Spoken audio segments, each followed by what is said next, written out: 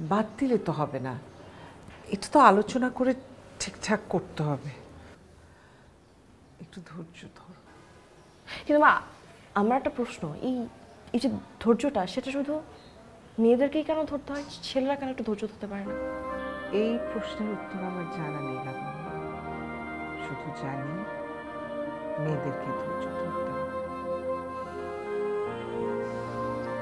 চিন্তা করো না আমি তো এমন এক ঝামেলা করে ফেললাম দূর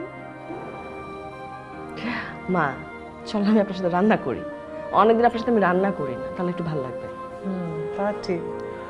ওই বাসা থেকে আসার পর তো এই বাসায় তুমি একদিনও রান্না করো চলো যে রান্না করেছে দোয়া করো মা।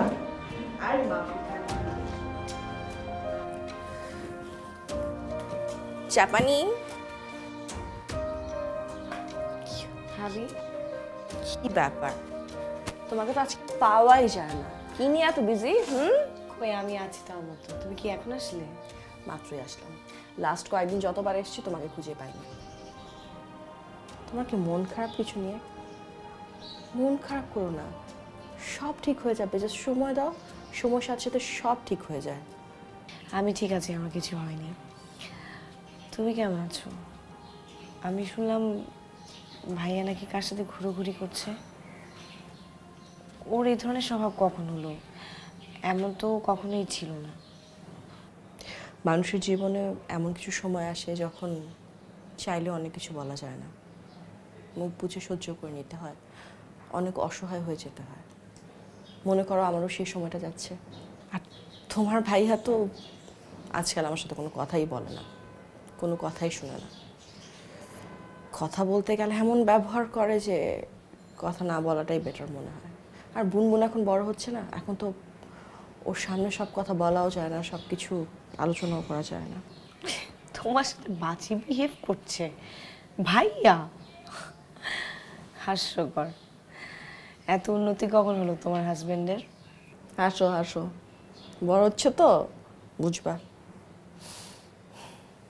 কবে যে এত উন্নতি হলো আমি জানি না রে। বুনবুন যদি না থাকতো, তাহলে হয়তো আমি এটা কঠিন সিদ্ধান্ত নিতে পারতাম। কিন্তু বুনবুনটার দিকে তাকিয়ে কিছু করতে পারি না।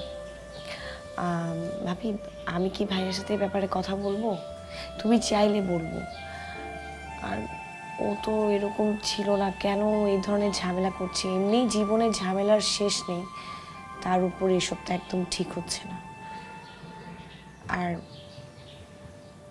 নান্টু ভাইয়াটা কে ভাবি?